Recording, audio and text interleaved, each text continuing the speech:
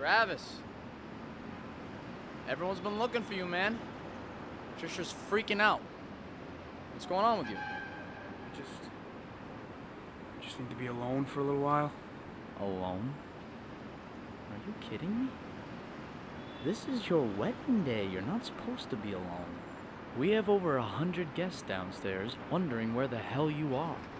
And I'll tell you, you're not just ruining this for them, you're ruining this for Patricia. Yeah, well, frankly, Kenny, I don't give a shit. Get your ass down there now. Get the fuck out of my face, Kenny. You think you can do this to my sister? I guess I'm not surprised. I always knew you were a weasel. Well, obviously, I made a mistake. What? About marrying my sister? What, did you have this whole thing planned out? Wait until she's finally ready to walk down the aisle and then just disappear? I'll tell you right now, you don't fuck with the Donna family.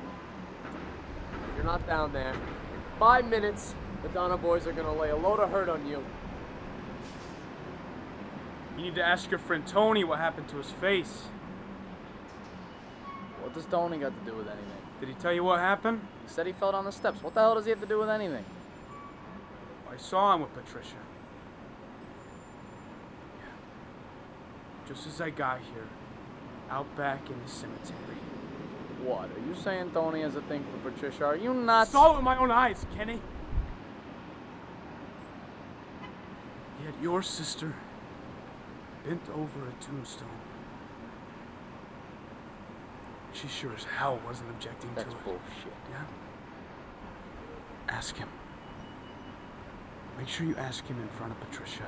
And if you know your friend as well as you think you do, then you'll know he's lying.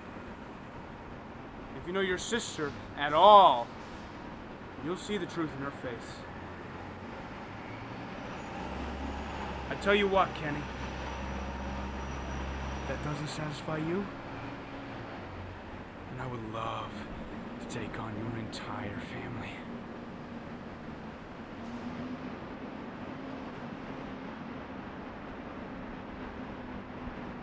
Might just have to do that, Travis.